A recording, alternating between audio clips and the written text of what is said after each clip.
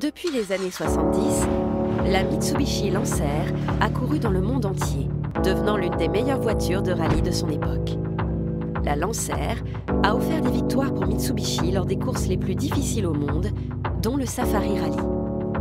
La suprématie de la Lancer en rallye fut totale à la fin des années 90, avec quatre titres de champion du monde des pilotes de rallye. Afin de se démarquer de ses rivaux, Mitsubishi a utilisé la Lancer comme base pour une série de modèles évolution plus puissants à chaque génération. Parmi ces améliorations, on trouvait un moteur 2 litres turbocompressé et une transmission intégrale.